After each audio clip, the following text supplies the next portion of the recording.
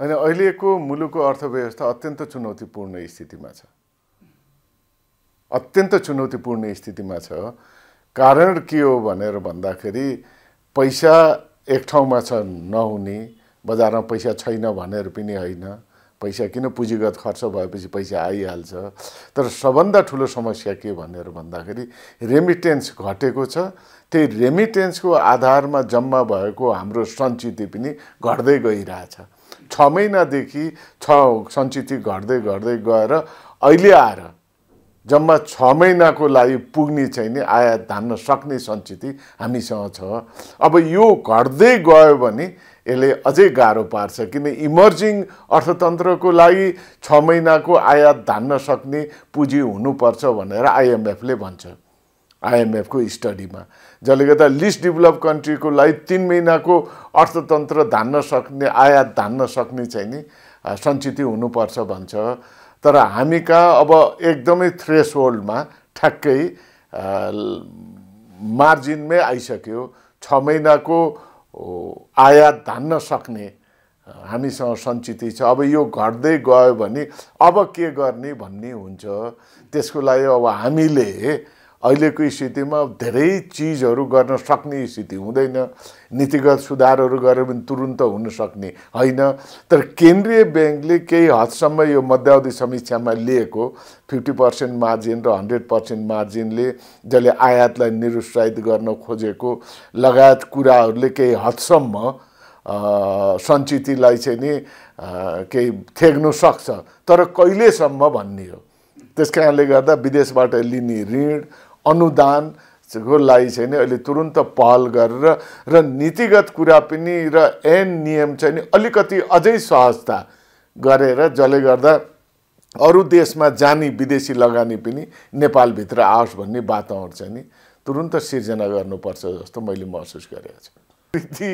अब के भन्ने? अब होइन भन्नको लागि त के भएर जब भन्ने कुरा हो होइन सात पर्सेन्टको त्यसले गर्दाखेरि गाह्रो छ सात पर्सेन्ट भन्ने चाहिँ नि मैले अहिले पनि त्यही भन्छु। अहिले पनि त्यही भन्छु गाह्रो छ। किन यो स्थितिमा झन् अब इन्फ्लेसन बढ्ने यता पुँजीगत खर्च नहुने त्यसमा राजस्व पनि घट्ने स्थिति छ। किन भनेर भन्दाखेरि कति चिजहरू आयात गर्न केन्द्रीय ब्याङ्कले रोकेको हुनाले आयातमुखी राजस्व भएको हुनाले त्यो पनि राजस्वको हाम्रो टार्गेट पनि हजार पचास जुन राखिएको छ अरब। त्यो चाहिँ नि पुग्न चाहिँ नि धेरै गाह्रो होला जस्तो मैले त्यो पनि महसुस गरेको छु। सञ्चित कोषमा नभए पनि ब्याङ्कमा नेपाल सरकारको ढुकुटीमा त पैसा छ। त्यसले गर्दाखेरि ढुकुटीमा रहेको राजस्व उठाएको पैसा राजस्व सरकारले उठाएको पैसा त्यो किन भनेर संसारमा कुनै देशमा पनि राजस्वको पैसा चाहिँ नि केन्द्रीय ब्याङ्कमा थुपारेर राख्ने भन्दा पनि सम्बन्धित ब्याङ्कहरूमा दिएर र तिनीहरूसँग बरु कुन किसिमको सम्झौता गर्नुपर्छ कुन ऐन नियम परिवर्तन गर्नुपर्छ त्यो गरेर ब्याङ्कलाई सर्टेन पर्सेन्टेजसम्म त्यो उठाएको पैसा सञ्चालन गर्न दियो र राष्ट्र ब्याङ्कले नियमन र सुपरिवेशन राम्रोसँग गऱ्यो भने बजारमा सधैँ तरलता समान रूपमा रहिरहन्छ। सरकारले दिएको राजस्वलाई विभिन्न सम्बन्धित ब्याङ्कमा राखेर नियम ऐन अनुसार त्यो परिमार्जित गर्दै नियम कानुन यति पर्सेन्टभन्दा बढी सञ्चालन गर्न नपाउने यो यो क्षेत्रमा मात्रै दिन पाउने यसरी कर्जाहरूमा पनि यसरी दिन पाउने नपाउने भनेर एउटा बनाएर दियो भने चाहिँ नि सरकारको ढुकुटीमा पैसा हुने बजारमा चाहिँ नि पैसा नहुने हुँदैन। संसारमा कोही पनि छैन यस्तो। हामी कहाँ मात्रै हो कि अप्ठ्यारो पर्छ कि भनेर राजस्व जम्मा गरेर हामीले राखिरहेको हुन्छौँ। बजारमा सबै पैसा। किन अब यो त हाम्रो पनि गल्ती छ। किन गल्ती छ भन्दा हामीले कर्जा विस्तारलाई चाहिँ लगाम लगाउन सकेनौँ। नसक्दा यो स्थिति आएको। तेलको चाहिँ नि आपूर्तिलाई अब सहज बनाउनु भन्दा भाउ घटाउन सक्छ कि सक्दैन। नाइ भने जति कर लगाएको छ केही हदसम्म उपभोक्तालाई राहत गर्नलाई कर घटाउँ थोरै।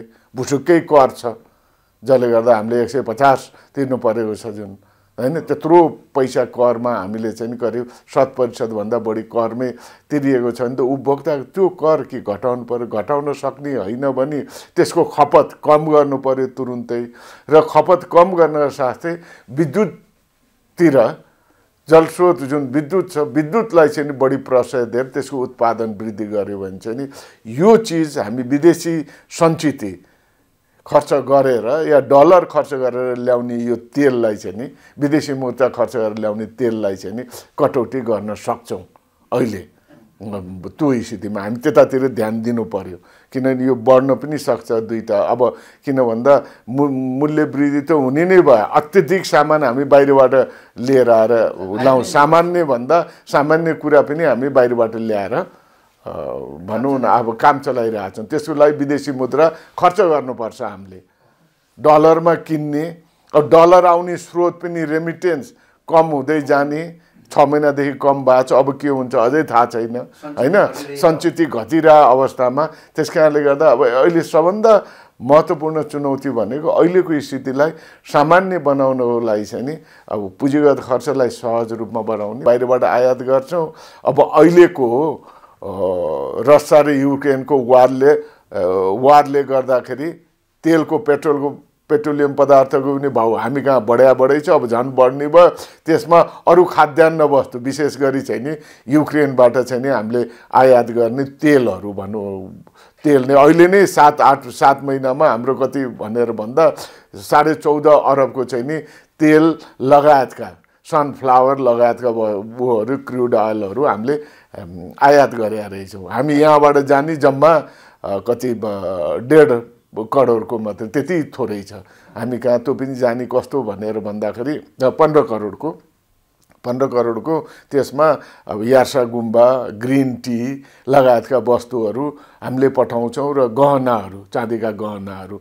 अब त्यो पनि जाने भएन किन भन्दा हामी व्यापार घाटा छ हाम्रो युक्रेन त्यो हुँदाहुँदै पनि यी वस्तुहरू हामीले ल्याउने भएको हुनाले अब तेल खाने तेल लगायतको अब पेट्रोलियम पदार्थ लगायतको वस्तुहरू जसले गर्दाखेरि खाने तेलको त फिफ्टी पर्सेन्ट नै संसारमा निर्यात गर्ने भनेको रसिया र चाहिँ नि युक्रेन रहेछ।